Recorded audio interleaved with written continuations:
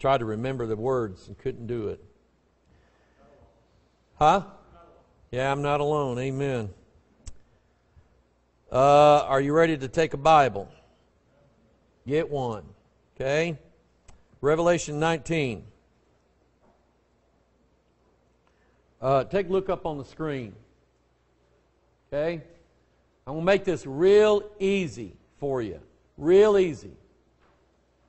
Um, we've all had, everybody's had tests in school, right?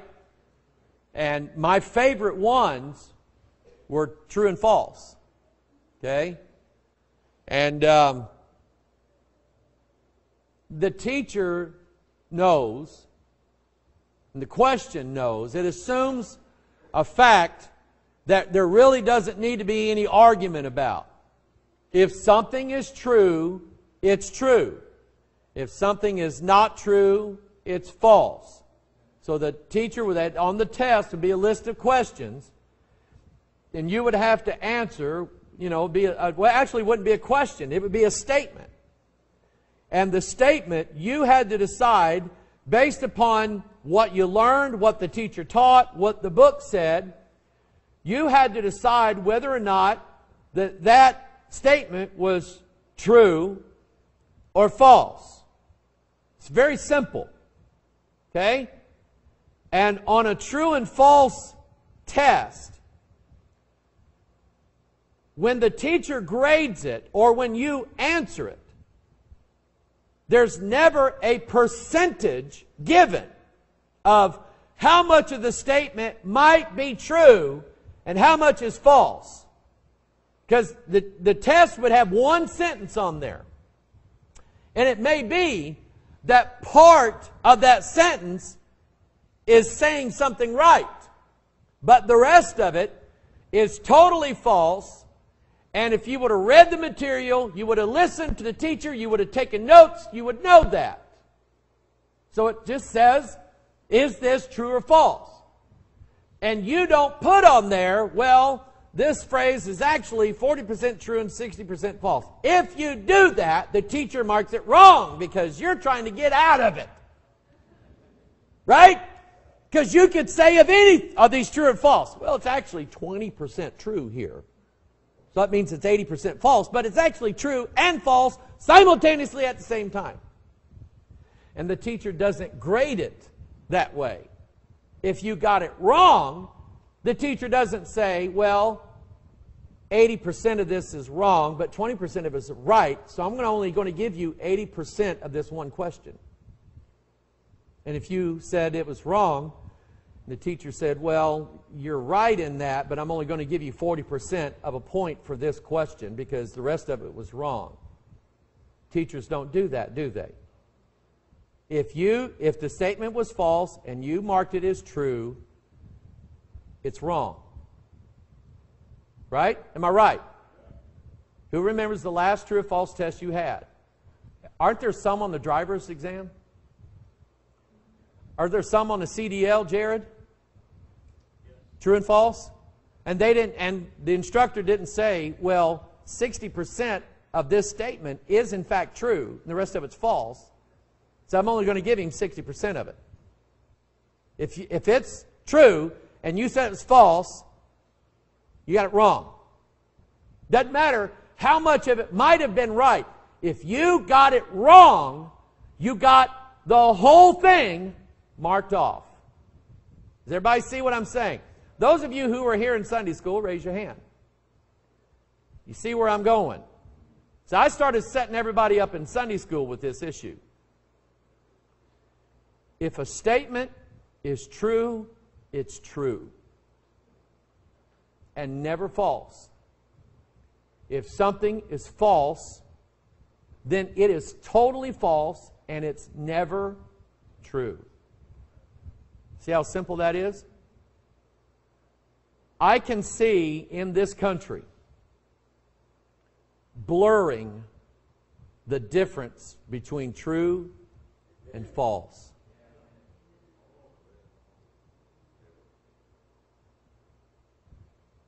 Stand up. See this guy here? Come on. It's going to be easy. He's a man. All right, you can sit down.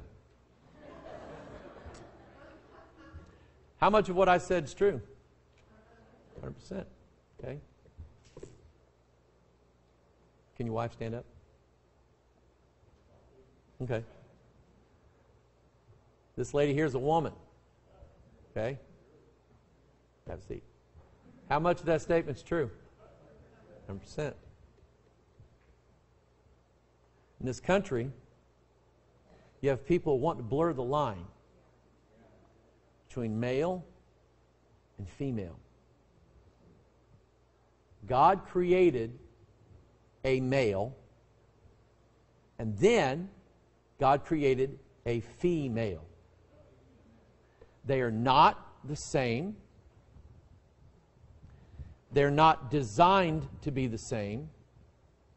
Even though in their chromosomes, there's only, out of 46 chromosomes, there's only one that's different.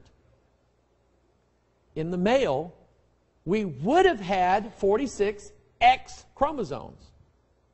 But God gave us one Y chromosome.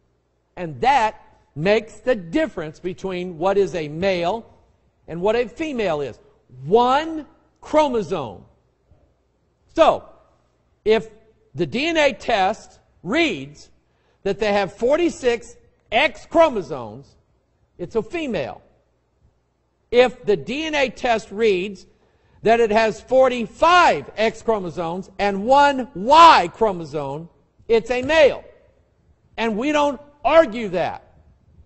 So the guy who uh, d- who did the protest out at Hillsboro last year, where he decided that if he put a dress on and a wig, that that gave him the right to go into a woman's, no, I won't say woman, a girl's bathroom and a girl's locker room and a girl's shower. If he thinks that that gives him the right to do that, his own chromosome argues against him. And shame on the members of the Hillsboro School, School Board who favored his decision to put a dress and a wig on and go into the girl's shower. How to yank my girl out just like that. Some did. See, there are absolutes, whether some people want to agree with them or not. There are some things that are just yay and some things that are nay.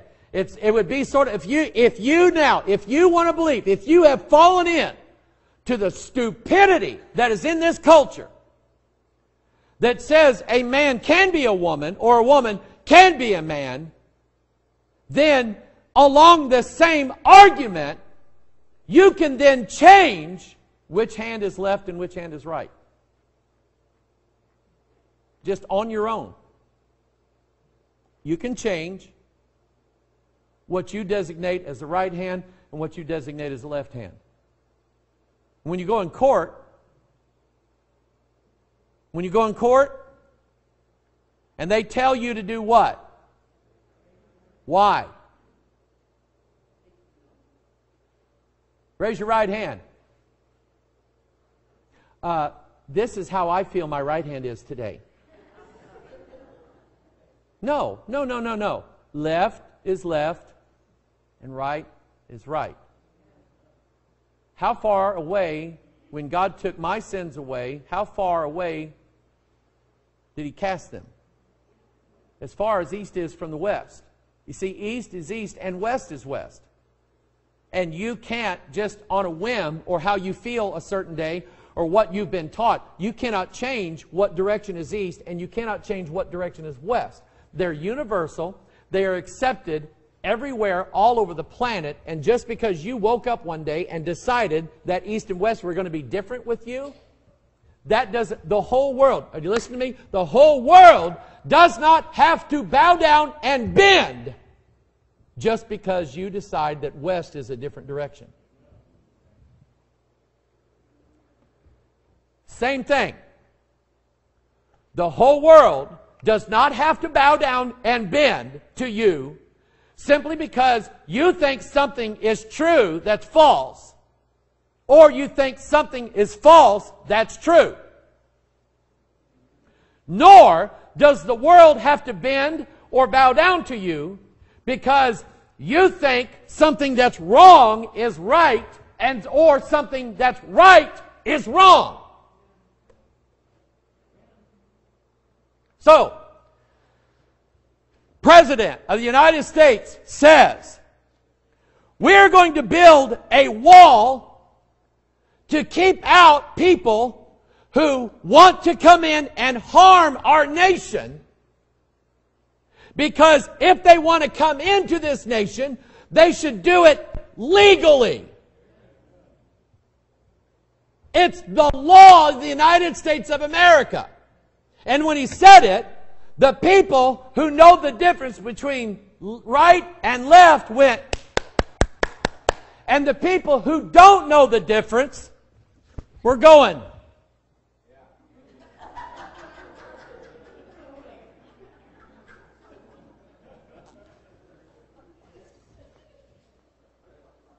Not pointing out anybody in particular, mind you. Did you get that on camera, Michael? You got it.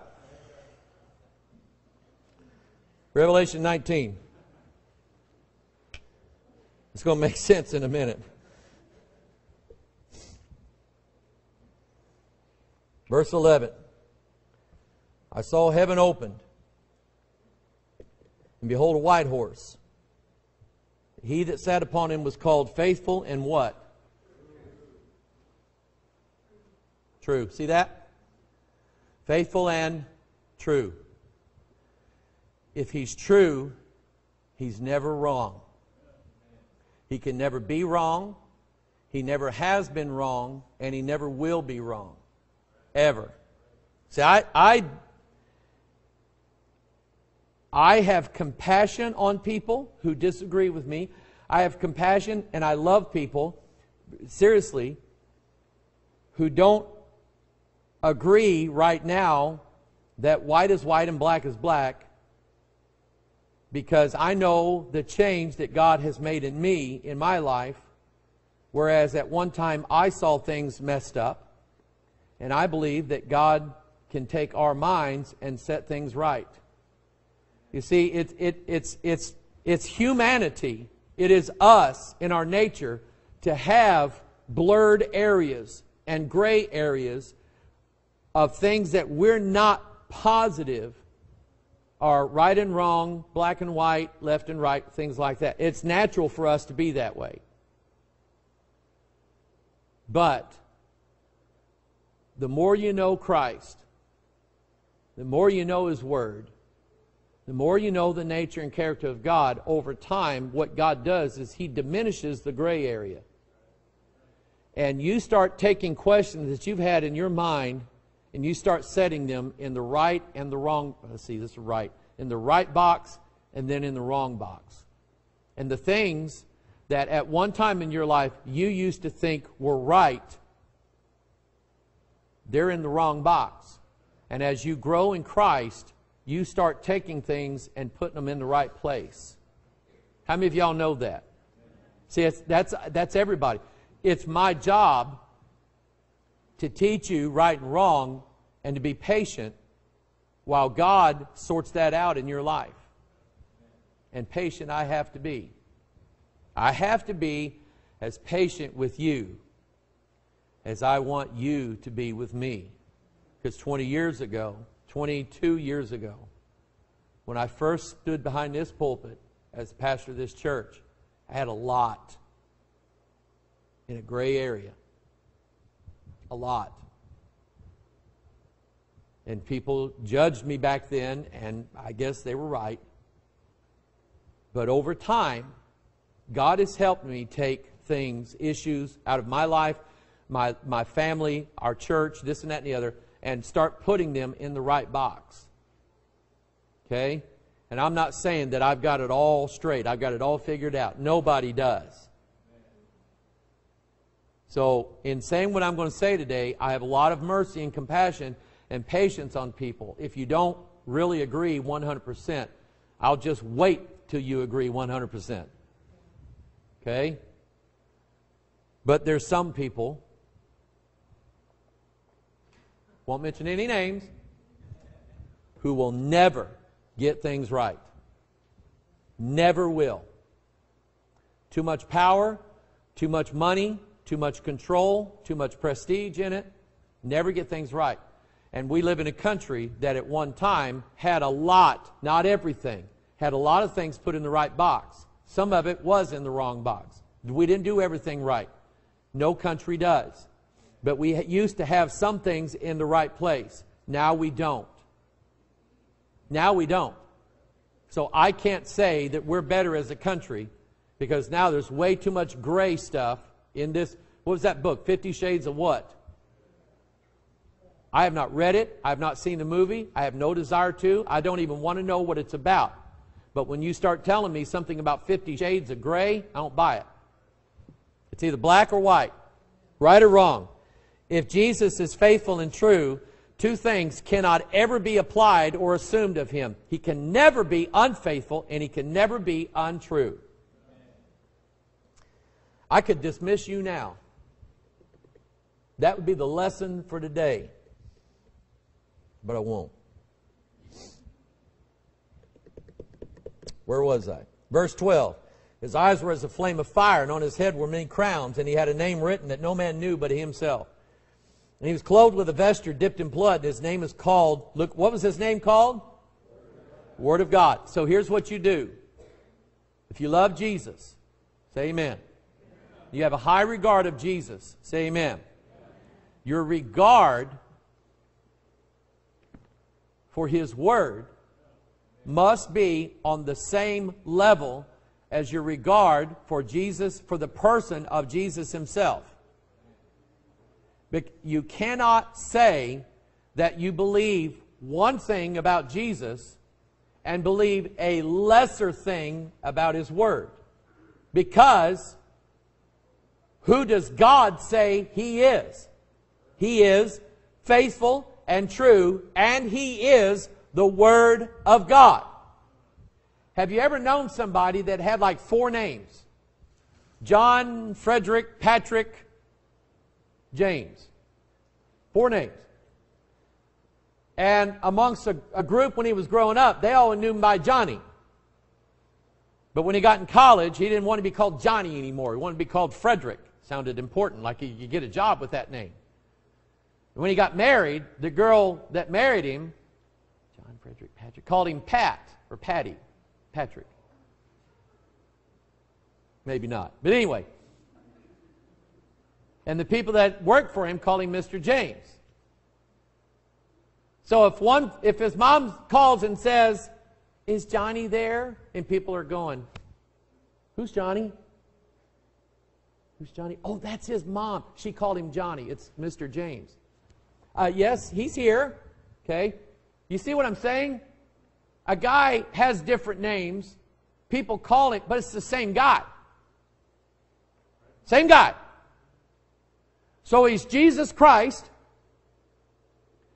He is King of Kings. He is wonderful.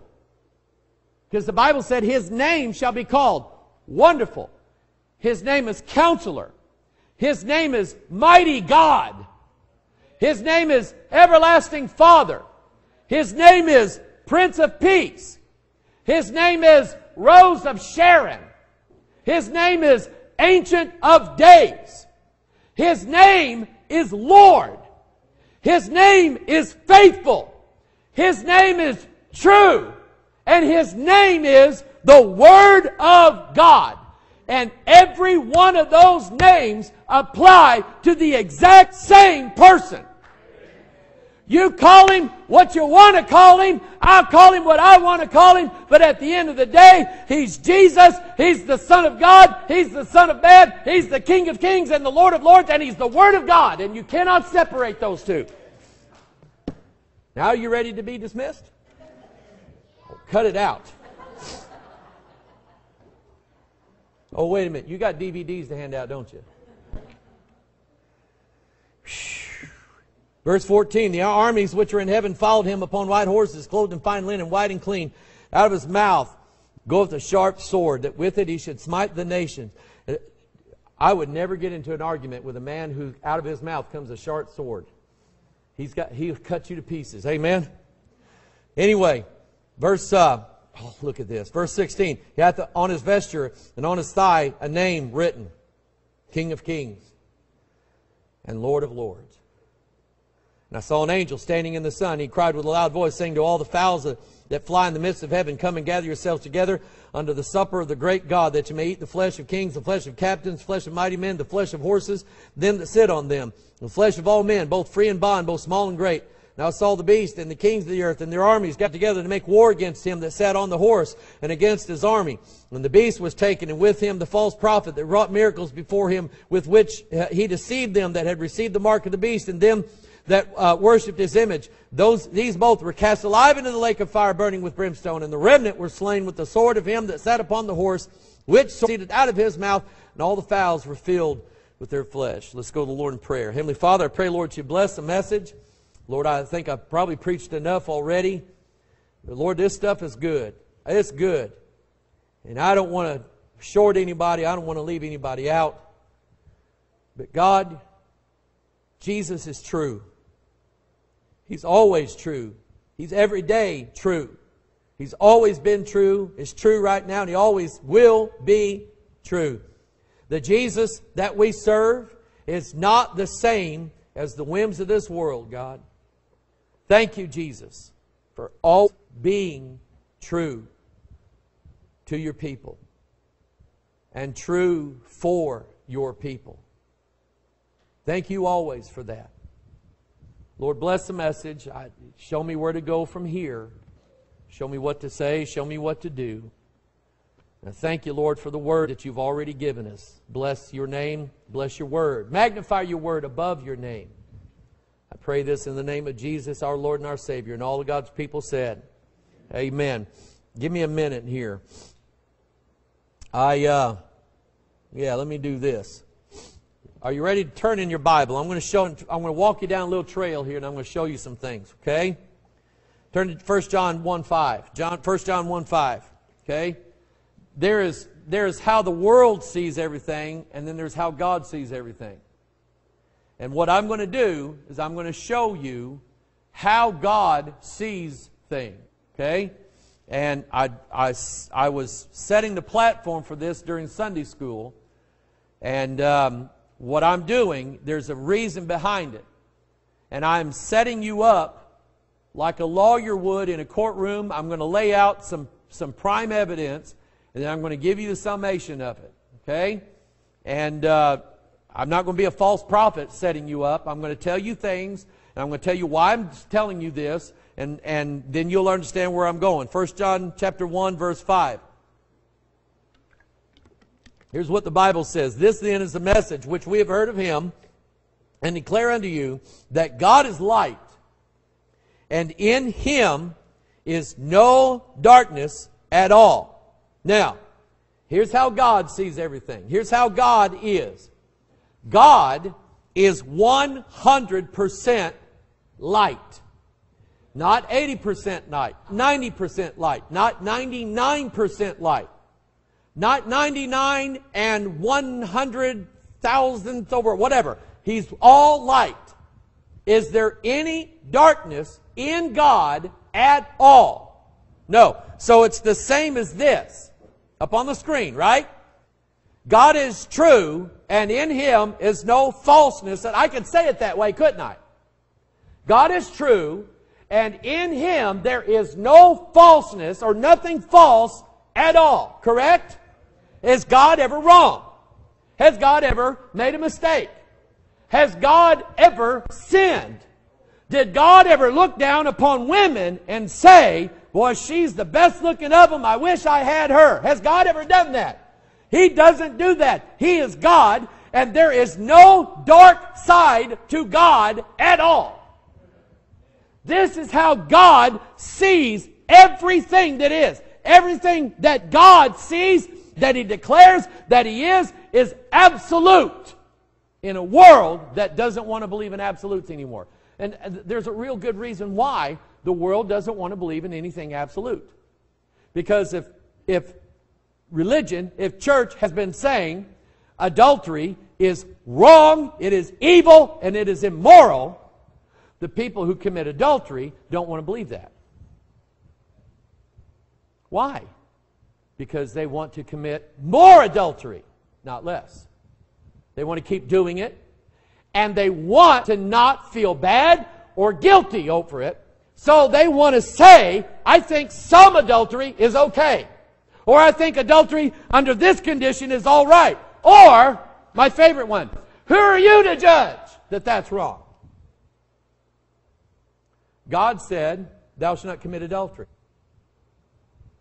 Did God ever say, except this, or unless this happens? Did God ever say that?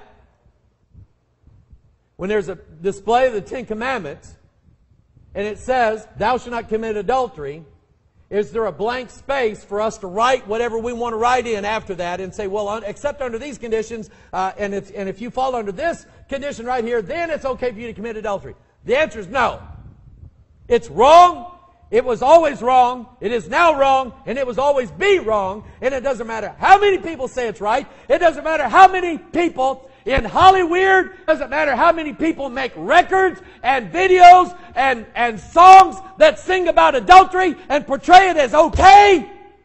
And I'm not just talking about rap music, I'm talking about country music. I'm talking about any kind of music that would ever say to anybody that adultery is okay. That song is wrong. What have we got going in our country? Time when adultery used to be wrong. And now we've got the singers out there going, if loving you is wrong, I don't want to be right. That's not a rap song, is it? That wasn't ACDC. That's hillbilly music. God said it's wrong. And in God, there's no adultery at all. God's always light, and He's never darkness. You ever seen that yin yang symbol, that circle with the, it's got black on one side kind of curled up, and it's got it on the other side kind of curled up, and it's got a black dot and a white dot in the middle of it? You know what that means? It represents a religious idea where right and wrong are equals.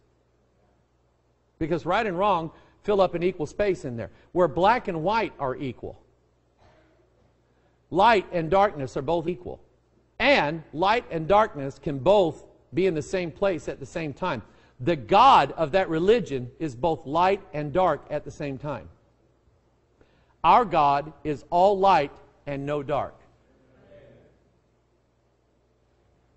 This is how God sees the world. Are you with me? Okay. Number two, James chapter 2, verse 10. Turn there. James chapter 2, verse 10.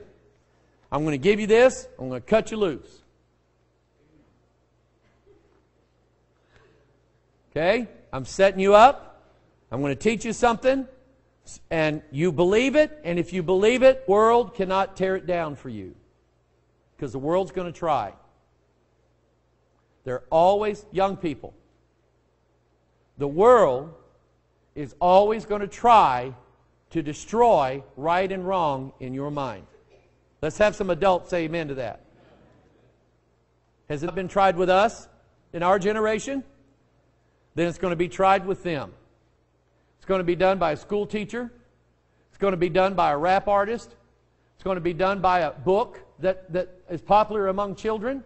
It's going to be done by movies. It's going to be done by video games. It's going to be done by everything imaginable that can reach into that child's mind and influence them. There's always going to be things that are going to try to destroy absolutes from your child's mind. James chapter 2, verse 10. For whosoever shall keep the whole law and yet in one point, he is guilty of all. Do you agree with that?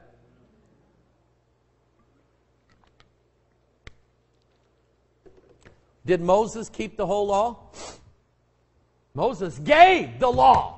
Moses gave the law people. Why didn't Moses get to go into the promised land? God only named one sin that Moses did that kept him out of the promised land. What was it? Not murder. He struck the rock and he was supposed to speak to it. One sin kept the greatest lawgiver. Moses is such a great icon of the law and the judicial system that our Supreme Court has notched into that wooden door that goes into the Supreme Court room the emblem of Moses and the Ten Commandments. Meaning, this is where we get our laws from. And God, when God disallowed Moses from going into the. Everybody else got to go except Moses. God disallowed Moses from going in for one sin that he committed. Don't tell me how good you are. God says that man, at his altogether best state, is vanity. Meaning there ain't a one of us. There ain't a one of us that qualifies to go into heaven. There is, however, one. His name is Jesus Christ. How many sins did Jesus commit? Zero. No sins. He qualifies. We don't. So is it true that if a man keeps the whole law, like Moses, and yet offends in one point, he's guilty of all? Do you agree with that? And yet, with people who want to put levels and layers and they want to put they want to attach scores to different sins that people commit and say, well, that's a little sin. It only has a little score. It doesn't count for much. God did not say in His Word sin or big sin. He said sin. And your disobedience is the same as my disobedience. One sin. You don't go. One sin. That's how God sees it. It is all or nothing with God. So, this truth thing can Jesus be true and called true if he didn't say everything true? Be called true if he said one thing wrong. Nope. Not according to God's standard. Turn to Ezekiel 33. Ezekiel 33.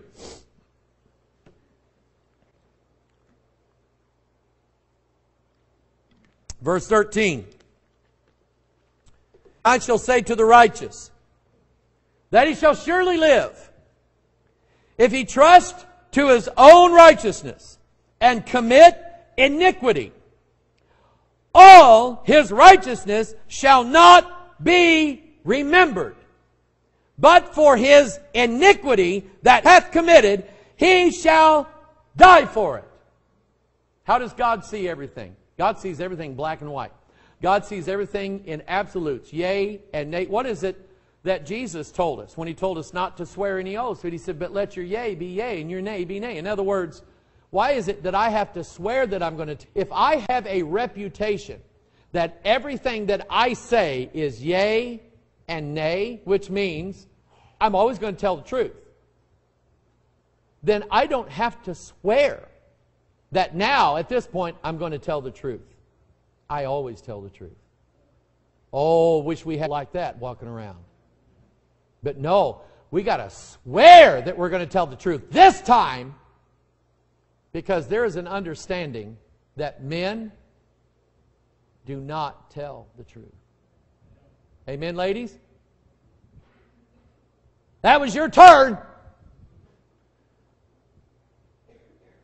Men don't always tell the truth. The best men in this church don't always tell the truth. The best ladies in this church don't always tell the truth. That's why we got to swear to it when we go into court. because our yea is not yea and our nay is not nay. So, if a man has, he's done all righteousness, he's got all this righteousness going. If he commits one iniquity, what happens to all his righteousness? It's going to be remembered. It's done away with, and he's going to die for one iniquity. That's how God sees it. Not, well, God said, okay, I'll let you, I'll let you get away with 20 iniquities. But after 20, I'm cutting it off. Because you know what, man? God, can we have 30? Like kids, right? You hand them a dollar. Can I have two? Wait a minute, you asked for a dollar. Yeah, but can I have two? Right, Braxton?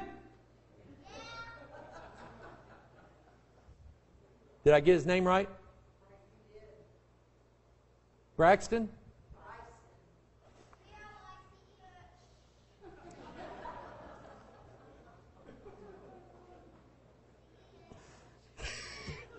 He's going to say it no matter what.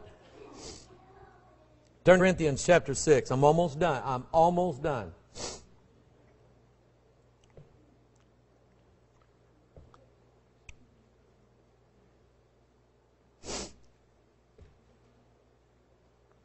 Second Corinthians chapter 6, verse 14. Be not unequally yoked together with unbelievers. Now I'm going to ask you a question. Not in man's version, but in God's version. Can you be called a believer of the Bible if there's one verse you don't believe is true? See, this is what I've been setting up for you. This is what I'm setting up for you. Well, I believe John 3:16. Isn't that good enough? But I don't believe the Noah's Ark fable. And science has already disproven account so badly that I can't believe anybody would believe that anymore. Yes, church people say that. Can a person be called by God a true believer if there's something in God that they don't believe. Now, remember what I'm saying to you. God has patience with us, doesn't He? 20 years ago, I would not have said that behind this pulpit. God suffered with me to the day to where I said, God, I believe everything in this book. God waited on me for that. And I'll wait on you. Okay? I'm not condemning anybody. I can't. Because God would have put me out of here a long time ago. But if you're if you don't believe part of what God said, God capsules it all at once in one package. There is the Bible, part of the Bible, or this, the 27 books of the New Testament are the only Bible I have to believe. That's not that way. It is the Bible or it's not the Bible. If you say, I believe it, but you don't really believe everything that it says, then it cannot, be you cannot be a believer. So, be not equally yoked together with unbelievers. For what fellowship hath righteous with unrighteousness? Remember what God says are the rules? If it's called righteous, and yet it has one sin in it, is it righteous? And if it's called unrighteous, but it does something right, can it be called righteous? What communion hath light with darkness? Is it light? Is, is it light if it's got dark in it? Is it if it has some light in it? Any place where light exists, darkness does not. Now, it may be for a small place, but it's one or the other. You cannot have it both ways light or dark. Pick one. True or false? Pick one. Hamburger or cheeseburger? Pick one. I knew it. I knew it. He's, by the way, he's not bothering us. On, I'm going to pay him money for help in the message. What concord hath Christ with Belial? You know who Belial is? Satan. If it's Christ, it's not Satan. And if it's Satan, it's not Christ. What part hath he that believeth with an infidel? We've already covered that. What agreement hath God with idols?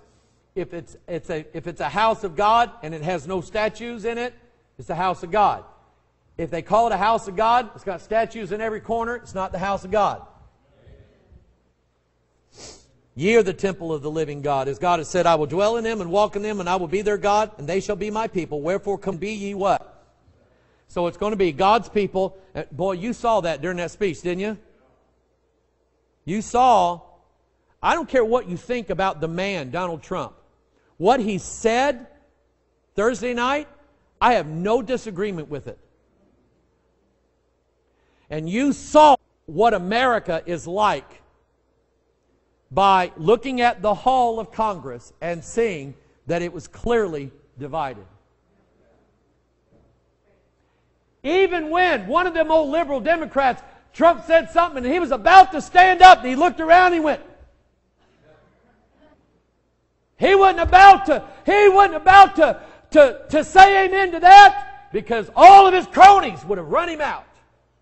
Listen, if you believe in something, stand for it. I'm going to let you out here in a minute. Be ye separate, saith the Lord, touch not the unclean thing, and I will receive you. That is God's requirement. You touch an unclean thing. God knows it. Now, see this book? This is the Word of God. Can we call it true if Genesis is not right? Can we call it true if John 3:16 is not right? Here's what I'm asking. Is Jesus the only begotten Son or the one and only Son of God? Which is it? Because you're talking about two different people. Jesus is not the one and only Son of God. We are also sons of God with him. He is the only begotten Son. Can the Jesus in the fiery furnace be the Son of God or a son of the gods? He's one or the other. Is your Bible right in everything that it says? If God said that the book was without error in it, then you must that his word never lies and it's never wrong. So, my challenge to you get it straight. And, you, and, and if I'm not preaching you, I'm not preaching you. But they come in to throw confusion in your mind, doesn't he? He, ha- he does it with me all the time. Is the Bible, can the Bible, seeing what we know about God, can the Bible then be wrong one time? Not according to the way God sees it. And say, oh, yeah, all the Bibles are wrong. That's not what God said. And we're dealing with a God who deals only in absolutes. Now, He may want to teach you for a while and bring you to it like He did me. But the bot, at the end of the day, or let's say at the end of your life, you've got to make a decision. You either believe the whole or you don't believe the whole. It's that simple. Amen? Stand to your feet. I'll give you a little bit more of this tonight if you'll come. If you'll come tonight, I'll give you some more of this. Show you what I'm talking about.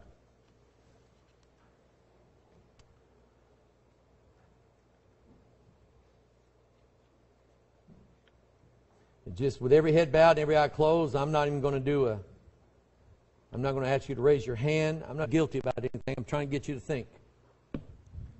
Trying to get you to think the way God thinks, the way God sees it. Because we are supposed to be given the mind of Christ as believers, which means that as God instructs us, we are to see things God's way of seeing, not the world's way, not social media's way, not what's popular, but we're to see things God's way. On every issue. So, anybody hearing my voice today, in your mind, if there are gray issues, I'm with you. I really am. I'm for you all the way because I know what that's like. And to be honest with you, there are some things that, right, I can't preach about them because I'm not sure. If I get sure, then I'll, I promise you I'll start preaching about them. That God has to teach them to me, and I have to know them. And it's not God said. I believe everything God said. My problem is I'm not sure that I understand everything God said. So that creates a cloud. Clouds are always gray. So if there's anything in your life, in your mind, or in your heart where there is a gray area, you can tell God, and He won't be mad at you. Because all of us are like that. All of us have those gray areas. And over time, I promise you, God, He's going to put it the true or the false, the right or the wrong, the white or the black, the day or the night, good or evil. God's going to fix it for you and show you what side it's going to be on. So let's pray to that end.